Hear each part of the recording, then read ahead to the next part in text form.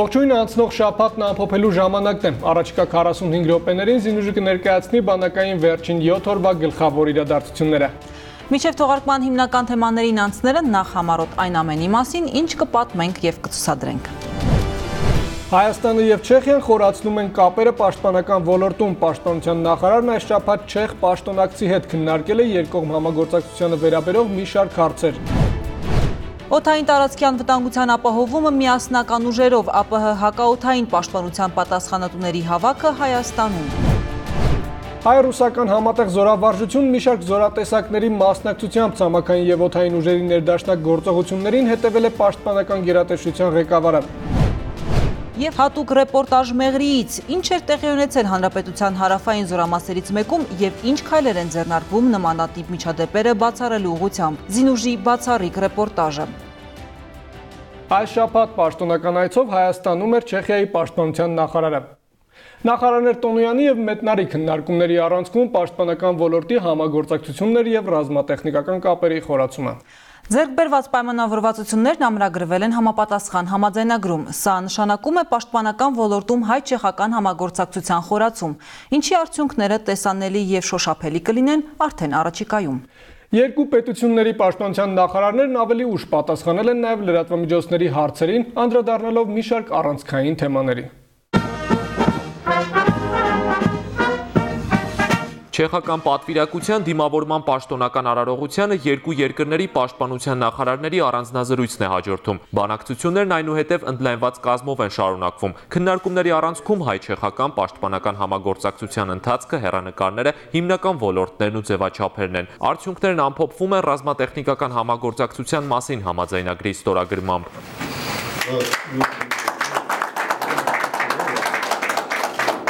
Ձերկ բերվող պայմանավորվածությունները նոր լիցք կհաղորդեն պաշտպանության ոլորտում երկկողմ համագործակցությանը։ Նախարար Դավիթ Տոնոյանի վստահեցումն է, Հայաստան-Չեխիա հարաբերությունները հիմնված են երկու երկրների միջև բարձր մակարդակի քաղաքական երկխոսության, ժողովուրդների բարեկամության, փոխադարձ վստահության եւ ընդհանուր արժեքների ու մոտեցումների վրա։ Համագործակցության իրավական հիմքն է հանդիսանում. 2010 թվականին ստորագրված Հայաստանի Հանրապետության եւ Չեխիայի Հանրապետության միջև ռազմական համագործակցության համաձայնագիրը եւ այսօր Իորախություն բոլորի ստորագրված ռազմատեխնիկական համագործակցության մասին համաձայնագիրը։ Երկում համագործակցությունը իրականացվում է ամենամեծ ծրագրային ձևաչափով եւ ներառում է այնպիսի ոլորտներ, ինչպիսիք են ռազմական ոստիկանության, խաղապահության, ուսումնավարժական ոլորտներում փորձի փոխանակումը, ռազմաքաղաքական կանոնավոր երկխոսությունը եւ տեղեկատվության փոխանակումը։ Չեխիայի պաշտպանության նախարար Լյուբոմիր Մետնարն էլ իր հերթին նշում է. Հայաստանը հարավային Կովկասում Չեխիայի կարևոր գործընկերն է։ Չեսկի պրոմիսը Չեխական արդյունաբերությունը շատ բան ունի առաջարկելու Հայաստանի պաշտպանության ոլորտին։ Մենք միտված ենք խորացնելու երկու երկրների միջև ռազմատեխնիկական համագործակցությունը, որի շրջանակում Հայաստանի ռազմական բժիշկներին առաջարկվում է վերապատրաստվել Չեխիայում, նաև շարունակել համագործակցությունը ռազմակրթական ոլորտում։ Հարց է հնչում Ադրբեջանի Հանրապետություն Չեխական ռուսական արտադրության Դանա հաուբիցների մատակարարման վերաբերյալ։ Չեխիայի պաշտպանության նախարարը պատասխանում է, այդ գործընթացը վստահաբար իրականացվել է երրորդ երկրների միջոցով։ Չեխիայի Հանրապետությունը կատարում է ինչպես միջազգային, այնպես էլ Չեխիայի օրենսդրության պահանջներն ու հստակորեն վերահսկում արտահանումների լիցենզավորման գործընթացը։ Հաուբիցների մատակարարումը Չեխիայի Հանրապետությունը չի իրականացրել։ Մենք կատարում ենք միջազգային էմբարգոյի բոլոր պահանջներն ու ոչ մի լիցենզավորում չենք տալիս Ադրբեջան ուղարկված մատակարարումների համար։ Այդ ծիծեռնակաբերդի հուշահամալիր չեխական պատվիրակությունը հարգանքի տուրք է մատուցում հայոց ցեղասպանության սրբադասված նահատակների հիշատակին։ Հաջորդ կանգարը Երևանի մաթեմատիկական մեքենաների գիտահետազոտական ինստիտուտում է։ Այստեղ չեխական կողմին է ներկայացվում Հայաստանի պաշտպանական համակարգում իրականացվող բարձր տեխնոլոգիական ծրագրերն ու աշխատանքները։ Հայաստանի ու Չեխիայի միջև տարբեր ոլորտներում հարաբերությունների զարգացման մեծ ներուժն ու այն ամրապնդելու կարևորությունը շեշտվում են նաև վարչապետ Փաշինյանի հետ հանդիպման ընթացքում։ Զրուցակիցները հայ-չեխական պաշտպանական համագործակցության եւ Լեռնային Ղարաբաղի հակամարտության կարգավորման հարցերին են անդրադառնում, կարևորելով տարածաշրջանային կայունության եւ անվտանգության ապահովման ուղղված ջանքերը։ Շնորհակալություն հայտնելով Լեռնային Ղարաբաղի հակամարտության կարգավորման գործընթացում Չեխիայի հավասարակշռված դիրքորոշման համար Նիկոլ Փաշինյանը վերստին ընդգծում է. Հայաստանը հակամարտության Հակամարտության կարգավորումը տեսնում է բացառապես խաղաղ ճանապարհով։ ԵԱՀԿ Մինսկի խմբի համանախագահների ձևաչափի շրջանակում։ Հովանես Պարաշյան, Արամ Սիմոնյան, Ֆելիքս Շախտոյան, Զինուշ Անցնող շաբաթ Հայաստանում էին նաև ԱՊՀ երկրների պաշտպանական գերատեսչությունների բարձրաստիճան զինվորականները։ ԱՊՀ հակաօթային պաշտպանության համադրման կոմիտեի 50-րդ հոբելյանական նիստը անցկացվեց Երևանում պաշտպանության նախարարության վարչական համալիրում։ Կոմիտեն ԱՊՀ մասնակից պետությունների պաշտպանության նախարարների խորհրդին առընթեր մարմին է, որը կարևոր դերակատարում ունի գործընկեր պետությունների զինված ուժերի գործակցության, փորձի փոխանակման եւ համատեղ զորավարժությունների անցկացման հարցերում։ Կոմիտեի նիստը միայն քննարկումներով եւ ելույթներով չի սահմանափակվել։ Ավելի ուշ անցկացվել են նաեւ ուսումնամեթոդական հավաքներ, ցուցադրվել են հայկական հակաօթային պաշտպանության, ինչպես նաեւ ռուսական օթուժի կարողությունները պայմանական սահմանախախտին ֆորսալիս եւ չեզոքացնելիս։ Հերվում երևացող օթային օբյեկտը յուրային չէ, սահմանախախտ է, հատել է Հայաստանի պետական սահմանն ու անմիջապես հայտնվել հայակաօթայինների տեսադաշտում։ Հակաօթային պաշտպանության ստորաբաժանումները որսում են պայմանական հակառակորդի ուղղաթիռն ու հետևում նրան։ Վարկյաններ անց հաշվարկները տեղում են, տեխնիկան գործի է դրված, պատրաստ են խոցել, ոչնչացնել։ Վերադասի հրահանգն է ուղեկցել սահմանախախտին եւ սпасել հրամանին։ Սցենարի համաձայն հակաօթայիններին միանում են օթային դարպասի օթային պահապանները։ Հոբ Զորքերի պետի կողմից խնդիր առաջադրվում Ռուսաստանի ավիաբազայի հերթապա ինքնաթիռներին, որ เป զի նրանք հայտնաբերեն եւ ոչնչացնեն պետական սահմանին խախտող բոլոր թրջող սարքերը։ Զենիթի արտերային համալիրներն արձանագրում են ինչպես է հայ-ռուսական օթուժն անմիջապես շրջափակում սահմանախախտ ուղաթիռն ու պահանջում վայրեջ կատարել։ Պետք է փորձեն նրանց, որ เป զի կանխել թրիշկի թրիշկը դեպի Հայաստանի Հանրապետության պետական սահմանի խորքը չկատարելու դեպքում կոչշացվի օթային հարձակման միջոցները։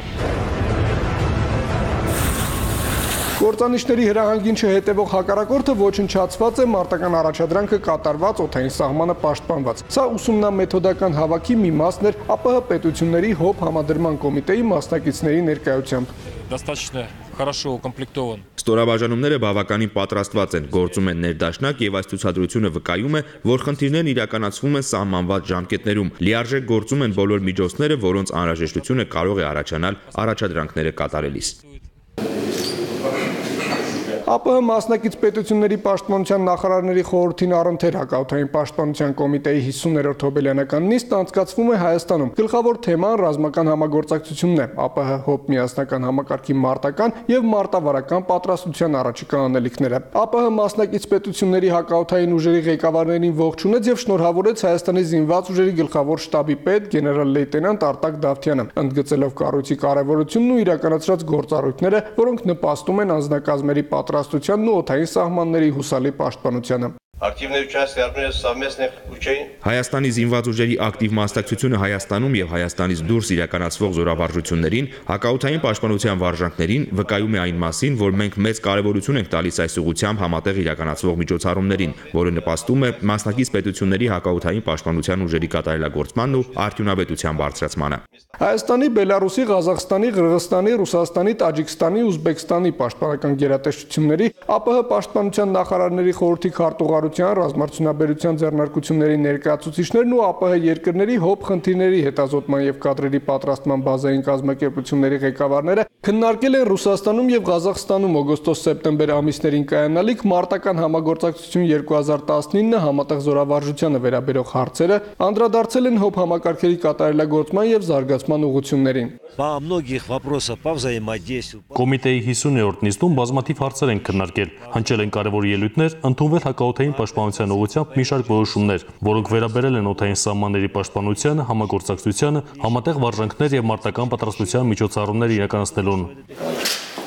Հակաօթային պաշտպանության առանցքային հարցերը նիստի մասնակիցները ներկայացրել են նաև Հայաստանի պաշտպանական գերատեսչության ղեկավարին։ Դավիթ Տոնոյանը կարևորել է Հայաստանի միջազգային ռազմական համագործակցության առաջնահերթ ուղղություններից մեկի հակաօթային պաշտպանական ոլորտում փոխգործակցության զարգացումը։ ԱՊՀ անդամ պետությունների պաշտպանական գերատեսչությունների հակաօթային ուժերի պատասխանատուները հայ գործընկերների հետ այցելել են նաև Ծիծեռնակաբերդի հուշահամալիր հարգանքի տուրք մատուցել հայոց ցեղասպանության սրբադասված նահատակների հիշատակին։ Ներկայացնելու ենք հետախուզական եւ մարտական գործողություններ կատարող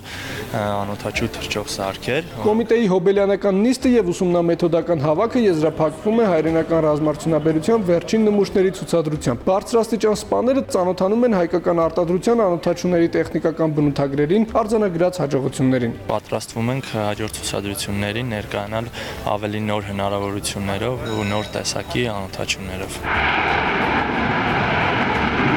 Եվ եւս մեկ ցուցադրություն օթային տարածքում, այս անգամ սահմանախախտ մուղաթիր չէ, պայմանական հակառակորդի կործանիչն է, որը պատրաստվում է մարտական առաջադրանքի։ Րոպեներ անց օթային սահմանը խախտած թռչող օբյեկտը հայտնվում է հայրուսական օթուժի հսկողության տակ եւ անմիջապես վայրեջք է կատարում։ Ներքևում սահմանախախտին սպասում են իրավապահները։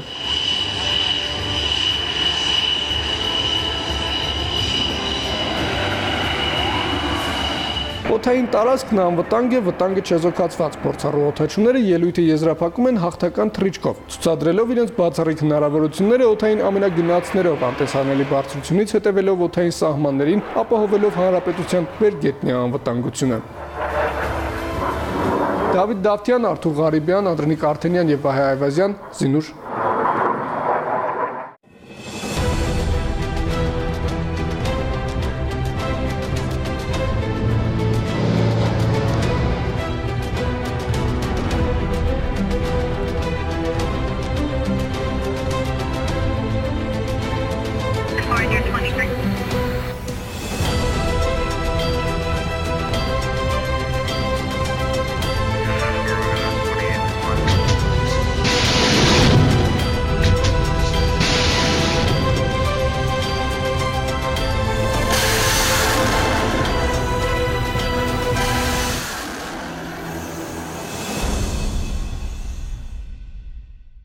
Զորավարժաններում մարտական հրաձգությունը չի դադարել ընդཐུպ մինչև շաբաթվա ավարտը։ Այս օրերին անցկացվում էր հայ-ռուսական միացյալ զորախմբի զորավարժությունը մի շարք զորատեսակների մասնակցությամբ։ Պայմանական հարցակումը կասեցնելու եւ առաջադրված խնդիրները կատարելու համար վարժանքներին մասնակցում էին ցամաքային զորքերն ու ռազմաօթային ուժերը։ Նմանատիպ զորավարժությունները փայլուն հնարավորություն են զորքերի մարտական պատրաստության աստիճանը բարձրացնելու, ցամաքային զորատեսակների եւ օթուժի գործողություններն առավել ներդաշնակ եւ արդյունավետ դարձնելու համար։ Զորավարժությունների նախնական արդյունքներն արդեն հայտնի են։ Ստորաբաժանումները գործել են արդյունավետ, ժամանակին գործի դրել սպառազինությունն ու ռազմական տեխնիկան։ Այդուհանդերձ վերջնական գնահատականը པարզ կլինի ավելի ուշ ամբողջական վերլուծության արդյունքում։ Поздравляю с началом учений! Զորավարժության մեկնարկից առաջ շարային ստուգատես է, անձնակազմի եւ ռազմատեխնիկական միջոցների պատրաստության մակարդակն է ստուգվում։ Սա պարտադիր ու կարևոր գործընթաց է։ Յուրաքանչյուր գործնական վարժանքի կրակային փուլից դեռ օրեր ու շաբաթներ առաջ ներգրաված ստորաբաժանումները սահմանված կարգով եւ ըստ համապատասխանությունների նախապատրաստվում են ուսումնամարտական խնդիրների կատարմանը։ Թեման կա եւ հարցակում, եւ հապաշտպանություն, եւ հակահարցակում, տարբեր տեսակի թեմաներ ընթացքում տեսնենք ստորաբաժանումների համատենը ինչպես են գործում։ Տրամադրությունները զորքի բարձր է եւ բոլորը պատրաստական են կատարելու իրենց արժեվ դրված խնդիրը։ Объединенная группировка войск сил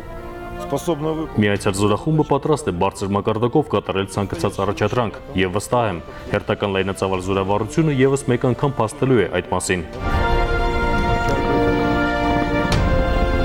Եվ այսպես ապրիլի 12 Բաղրամյան զորավարժարան գումարտակային զորավարժության եզրափակիչ մարտական հրաձգության փուլն է։ Մի քանի րոպեից կմեկնարկի զորավարժության գլխավոր կրակային փուլը յուրաքանչյուրն իր տեղում է պատրաստ առաջադրված խնդրի կատարմանը։ Զորավարժության առանձնահատկությունն այն է, որ նախորոք սցենար չի կազմվել եւ գործողությունները ընթանալու են իրավիճակի զարգացմանը զուգահեռ։ Հաշվարկ մարտիկ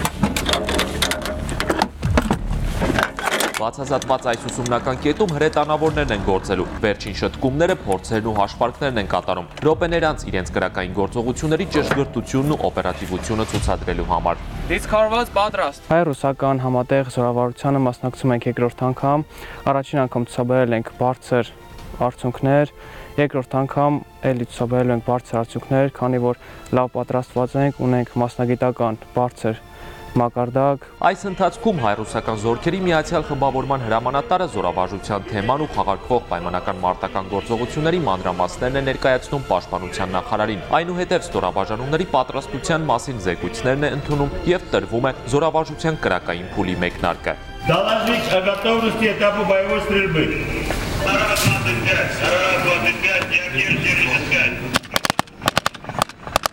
Պայմանական պատերազմը սկսվում է հակառակորդի կողմից սահմանի խախտումով։ Թշնամու դիվերսիոն խումբը հատում է սահմանը, սակայն հայ-ռուսական զորքերի համատեղ ջանքերով դիվերսանտների հետագա առաջխաղացումը արագ կասեցվում է։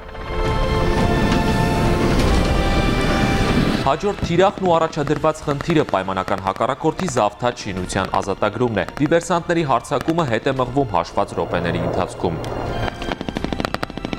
Հաջողությամբ կատարված առաջադրանքի մասին առաջին հերթին ազատագրված շենքի տանիքում ծածանվող երկու երկրների դրոշներն են վկայում։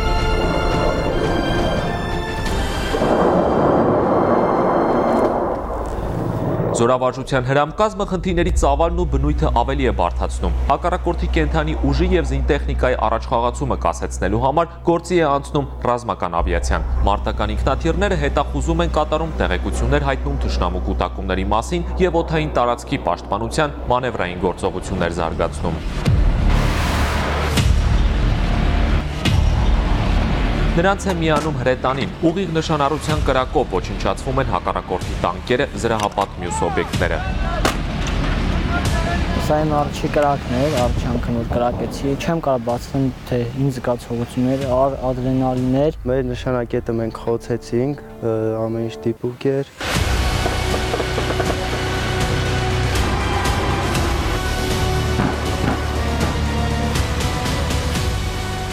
Բարձր պատրաստվածությամբ է գործում նաև օթուժը։ Կործանիչներն ու ուղաթիռները խոցում են բոլոր թիրախները, կրակի տակ պահելով հակառակորդին ու նրան փախուստի մատնելով։ Անձնակազմը առաջ է շարժվում զբաղեցնելով առավել նպաստավոր բնագծեր։ Խնդիրաներ, որ կարողանանք ջախջախենք հակառակորդին, վերականգնենք մեր առաջնագիծը եւ գրոհենք առաջ, առանց կանգնելու, միայն գրոհել։ Պայմանական մարտադաշտում նաև ռադիոէլեկտրոնային պայքարի նոր միջոցներ կիրառվեցին։ Դրանք թշնամու հրթիռները շեղելու համար են։ Առաջի անգամ է գործարկում եւ այս պայդրությամբ ոչ մի պետության բանակում չկա, բացի ռուսական բանակից, որ այս պայդրությամբ գտնվում է մեր միացած զորախմբի կազմում։ Կրակային խնդիրները կատարված են, հրամանատարական կազմի գնահատականն է։ Ուսումնական վարժանքը ծառայել է իր նպատակին, ապահովելով հայ-ռուսական միացյալ զորախմբի ստորաբաժանումների ներդաշնակումը։ Считаю, что цели учения мы выполнили. Համարում եմ, որ մենք բարեհաջող կերպով կատարել ենք առաջադրված բոլոր խնդիրները։ Մենք տեսանք համատեղ գործողությունների բարձր մակարդակ, երբ մեկ դաշտում գործում էին Ռուսաստանի եւ Հայաստանի զինված ուժերը։ Մենք եւս մեկ անգամ ցույց տվեցինք այստեղ մեր երկու երկրների դարավոր բարեկամությունը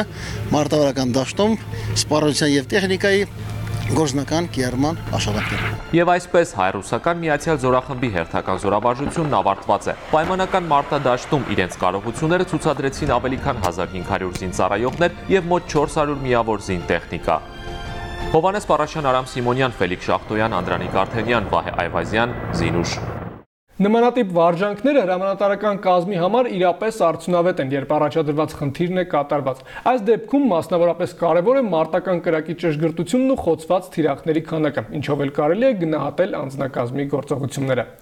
Հայրուսական համատեղ զորավարժության մասին առավել մանրամասն կխոսենք Զինուժի երկրորդ տաղավարում։ Իմ գործընկեր Զավեն Մաթևոսյանը հյուրընկալել է հայրուսական միացյալ զորախմբի հրամանատար գեներալ մայոր Տիգրան Փարվանյանին։ Ողջույն Զավեն, խոսքը փոխանցում ենք քեզ։ Շնորհակալություն Դավիթ։ Բարի երեկո։ Զինուժի տաղավարում այսօր հյուրընկալել ենք Հայաստանի Հանրապետության զինված ուժերի եւ Ռուսաստանի Դաշնության զինված ուժերի զորքերի ուժերի միացյալ խմբավորման հրամանատար գեներալ-մայոր Տիգրան Փարվանյանին։ Բարի երեկո, պարոն գեներալ-մայոր։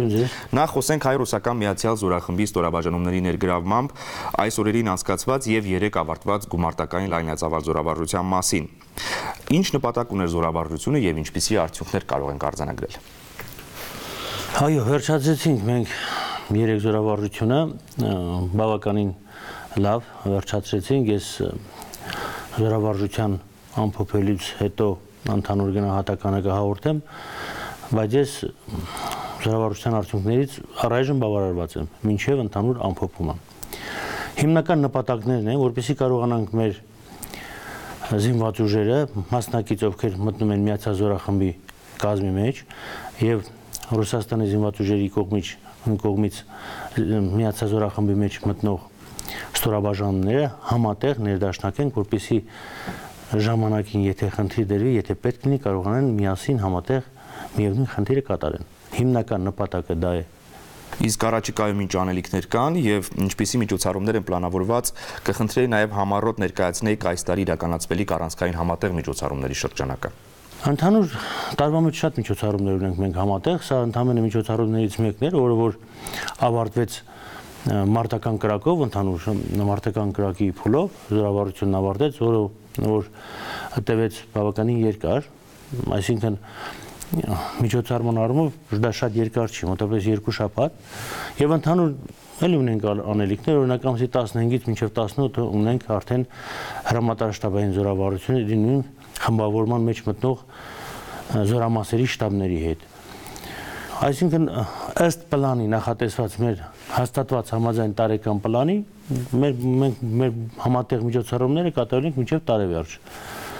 նոյեմբերին, դեկտեմբերին նոր պլան ենք կազմելու 20 թվականի համար, այսինքն աշխատելու ենք այդ պլանով։ Այսինքն երբևիցե չի լինում, որ զորքերում, զորամասերում ազատ լինեն թե հրամանատարական կազմը, թե շարքային կազմը յուրաքանչյուր ոք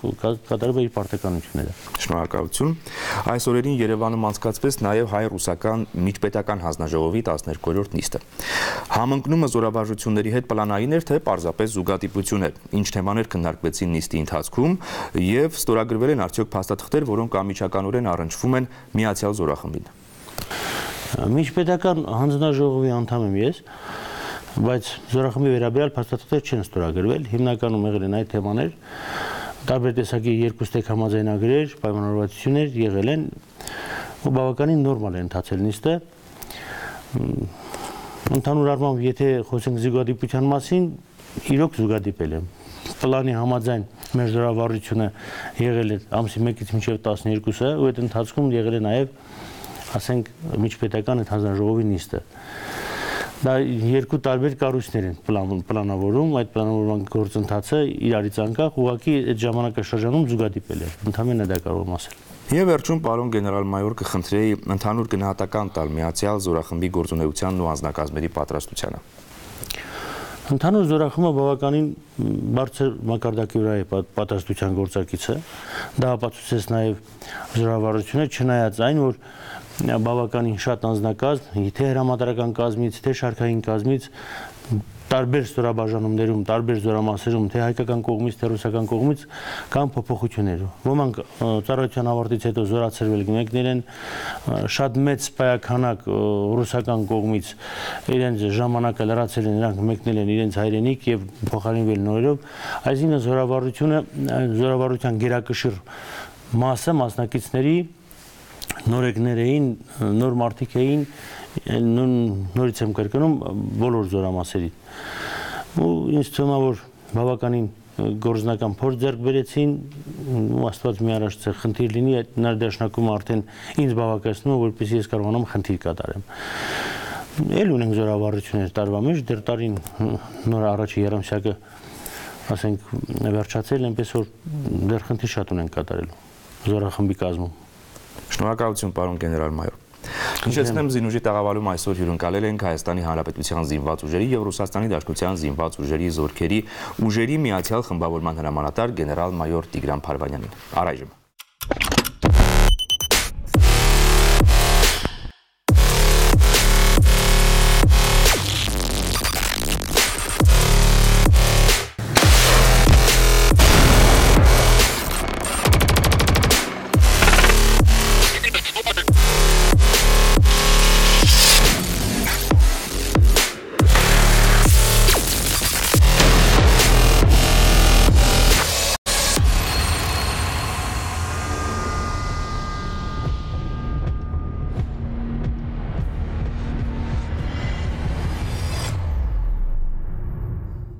Թողարկման այս հատվածում առաջարկում եմ ծանոթանալ բանակային անցուդարձի մի շարք այլ ուշագրավ դրվագների համառոտ եւ մեկ տեսաշարով։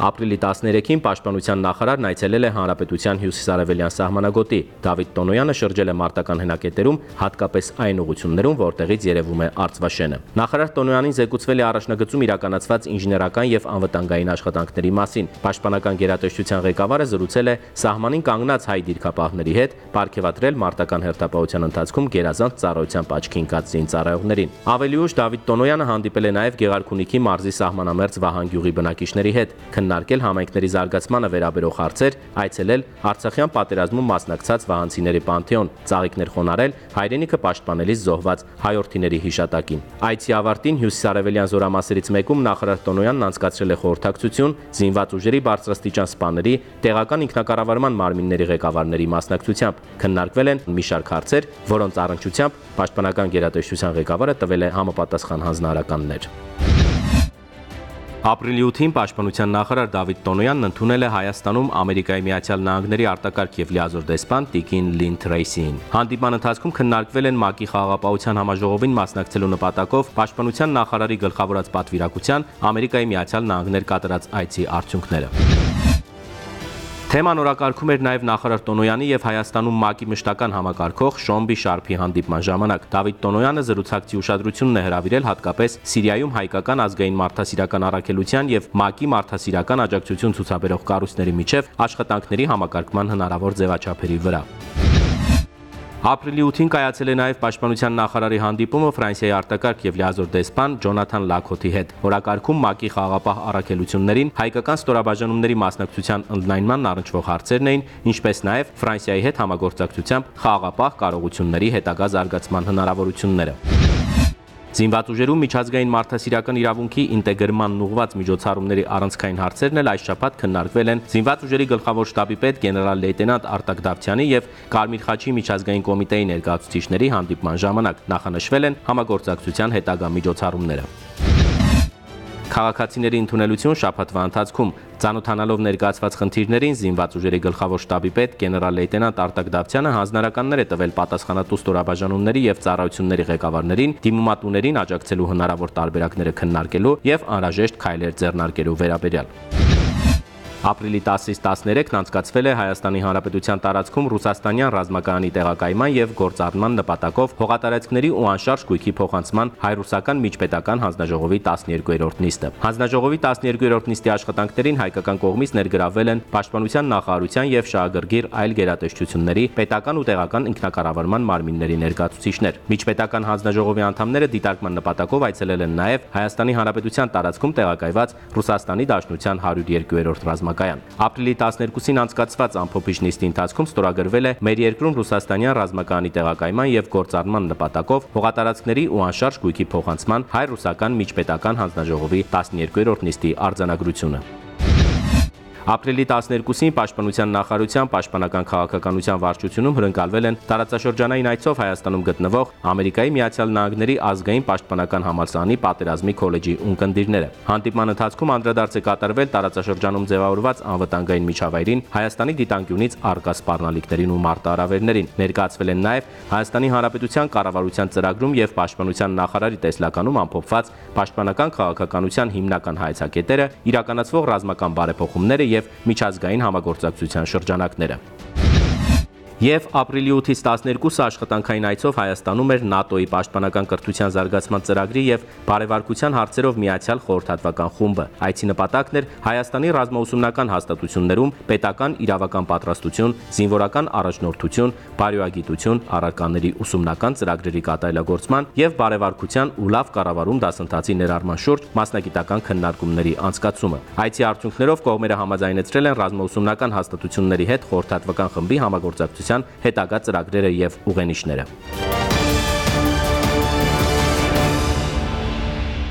Վերջին օրերին հանրային ուշադրության կենտրոնում հայտնվեց հանրապետության զորամասերից մեկում տեղի ունեցած միջադեպը, երբ մի խումբ ժամկետայիններ ինքնակամ լքել էին զորամասի տարածքը։ Միջադեպից անմիջապես հետո գերատեսչության ղեկավարությունը հայտնեց իր հստակ դիրքորոշումը։ Ձեռնարկվեցին անհրաժեշտ բոլոր քայլերը հետագայում նմանատիպ միջադեպերը բացառելու համար։ Միջադեպի բոլոր մեղավորներն իհարկե ստանալու են իրենց արարքին համաժեք պատիժը, իսկ հետևություններ անհրաժեշտ օղակներում արդեն արվել են։ Բանակային զորամիավորման հրամանատարը դեպքից հետո ավելի հաճախ է զորամաս այցելում, հանդիպում սպայական կազմի եւ ժամկետայինների հետ։ Գազմավորման դորվանից լավագույնից մեկի համբավը վայելող Մեղրի գունդը ազգային բանակի առաջի զորամասն էր, որ արժանացավ մարտական դրոշի։ Հետագա տարիներին Վազգեն Սարգսյանից ստացած դրոշը պատվով գրող զորամասը անվանակոչվեց Գարեգին Նժդեի անվամբ։ Սակայն այն, ինչ տեղի ունեցավ մարտ ամսին, ստվերեց զորամասի ամբից կենսագրությունն ու պատճառ հանդիսացավ ուժեղացնելու բանակ ներթափանցող արատավոր դրսևորումների դեմ պայքարը։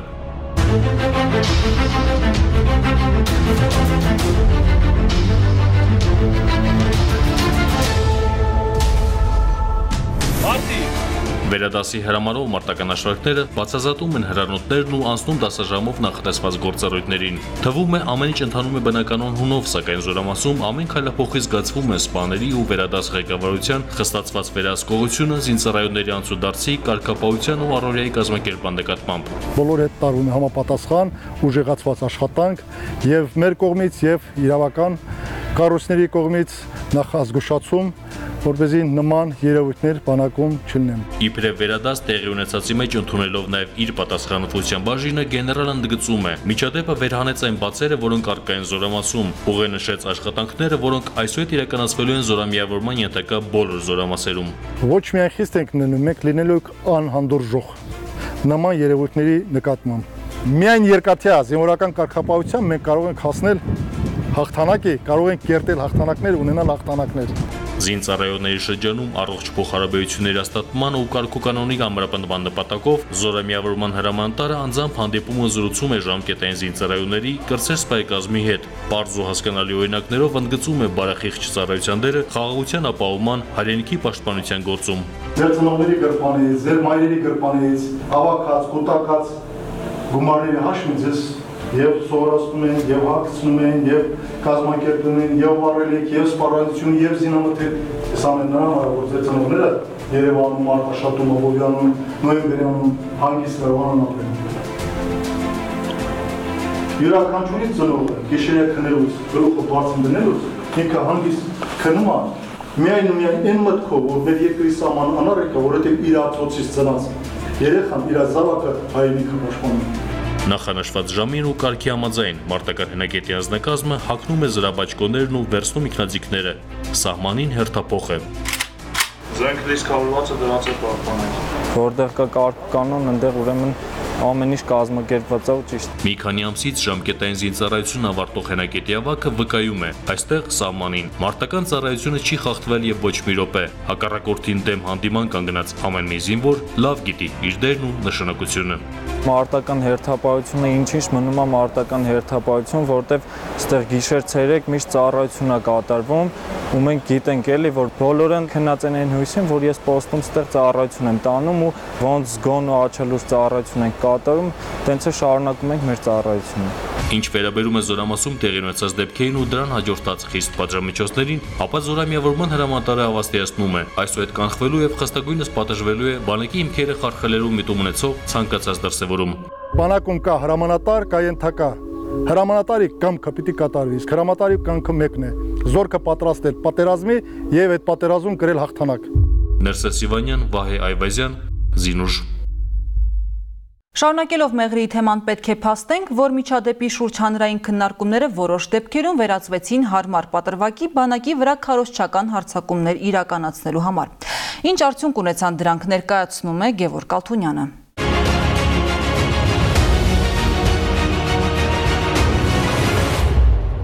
Բարի երեկո։ Մեր երկիրն, ինչպես գիտենք, դեռևս չավարտված պատերազմի պայմաններում է գտնվում։ Ինչպես գիտենք։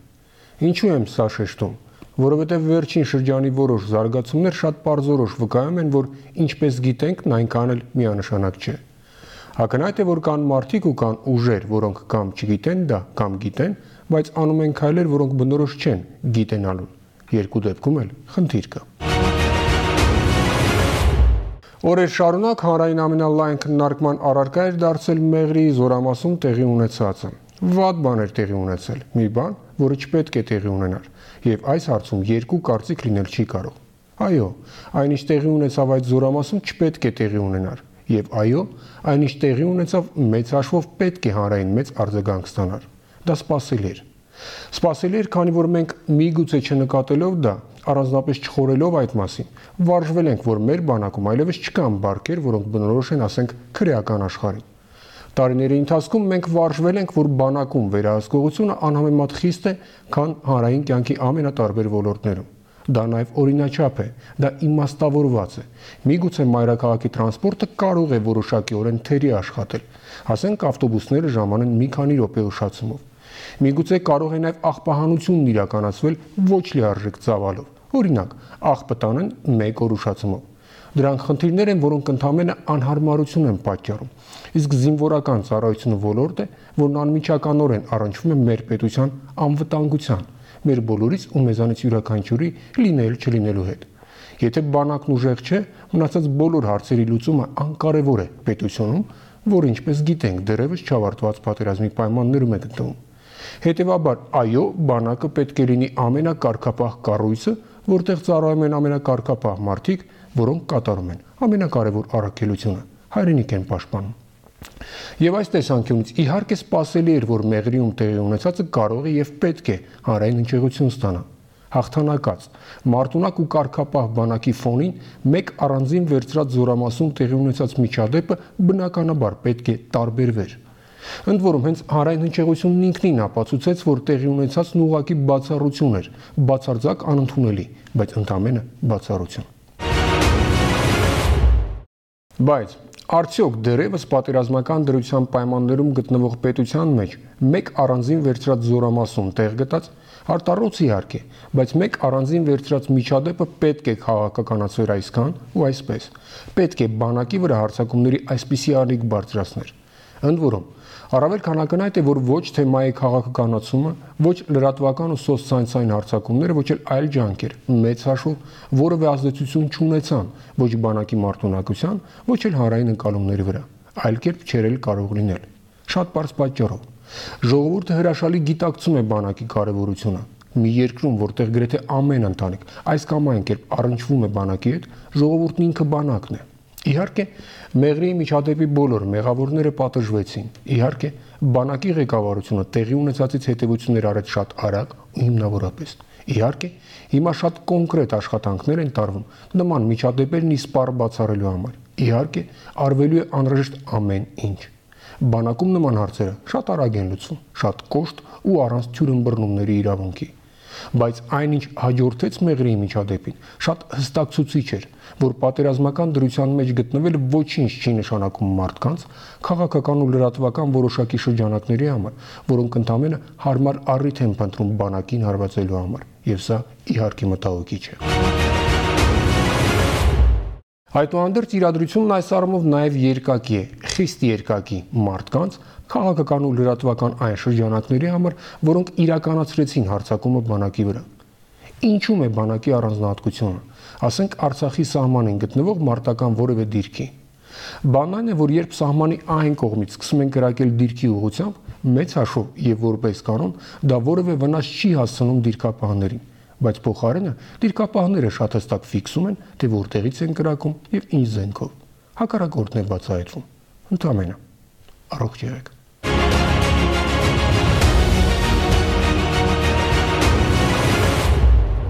Շարունակում ենք թողարկումը։ Զինված ուժերում ծառայում են բազմաթիվ տղաներ, որոնք օժտված են բացառիկ ունակություններով։ Նրանցից մեկն ապագա գիտնական այժմ հայոց բանակի զինծառայող Սենիկ Մատինյանն է։ Սենիկ ապագա բժիշկ է եւ երիտասարդ գյուտարար, արդեն հասցրել է զարմացնել իր դասախոսներին, իսկ հիմա արդեն հայտնվել է Եվրոպայի ամենահայտնի գիտական հաստատություններից մեկի ուշադրության կենտրոնում։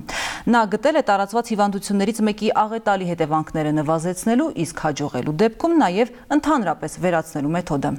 Կուրսանտ Մատինյանը զորակոչվել է ամիսներ առաջ եւ ընտրել գերատեսչության առաջարկած այլընտրանքային ծառայություններից մեկը։ Ըստ այդմ նա 1 տարի կսովորի ռազմաբժշկական ֆակուլտետում, հետո կմեկնի զորքեր որպես բուժ ծառայության սպա։ Զինուժի բացառիկ ռեպորտաժը բացառիկ կուրսանտի մասին։ Օրվա մեծ մասը ես անց եմ կասնում այս սենյակում, որտեղ գտնվում է նեյրոգիտության լաբորատորիան եւ որտեղ տեղադրված են բոլոր այն սարքերը, որոնցով մենք աշխատում ենք եւ կատարում ենք մեր հետազոտությունները։ Նեյրոլաբում զինվորական համազգեստին միանում է երկրորդը բժշկականը, գլխավոր դերում եւ հետազոտությունների ակտիվ մասնակիցն առայժմ շարքային զինծառայող ու բժիշկ Մատինյանն է։ Այստեղ բոլոր process-ները կատարվում են խիստ ստերիլ վերահսկողության պայմաններում, որովհետև բջիջները դրանք այնպեսի նյութեր են, այնպեսի մատերիալ է, որի հետ աշխատելը պահանջում է ստերիլ պայմաններ։ Զինված ուժեր զորակոչվել է ամիսներ առաջ հունվարին պայմանագիր է կնքել Պաշտպանության նախարարության հետ, ստանալով հնարավորություն 1 տարի սովորելու ռազմաբժշկական ֆակուլտետի ինտերնատուրայում, որից հետո կանցնի երկամյա ծառայության զորքերում, սակայն ոչ թե շարքայինի եւ համազորայինի կարգավիճակով, այլ բուժ ծառայողի։ Ամենակարևոր մասնագիտությունն է ուղղված մարդու կյանքին, մարդու կյանքը որպես բարձրագույն արժեք դիտարկելուն եւ մարդուն օգնելուն։ Սենիկն այսօր ոչ միայն համալսարանի, այլև աշխարհի հայտնի բժիշկների, գիտնականների ուշադրության կենտրոնում է։ Զբաղված է բացառիկ հետազոտություններով, փայլում է նախնական ու հիմնական արդյունքով։ Եկավ մի պահ, որ հասկացա, որ պետք է արդեն իսկ զբաղվել սպეციფիկ գործով,